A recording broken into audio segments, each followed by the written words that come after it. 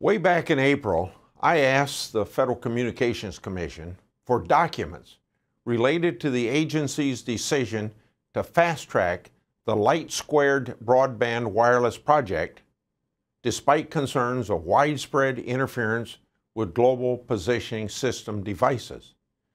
Now, the agency has since then refused to provide any documents.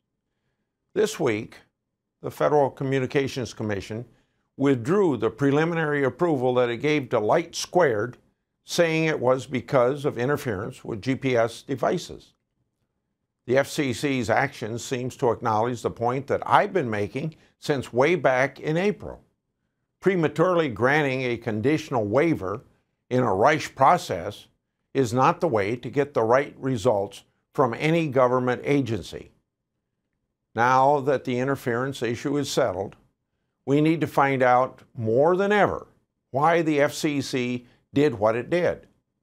The agency put this project on a fast track for approval with what appears to have been completely inadequate technical research.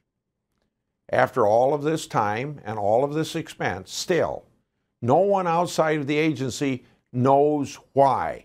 They're not answering any questions. And of course, that's not the way that the people's government should work. The public's business ought to be public. The FCC has backtracked on LightSquared.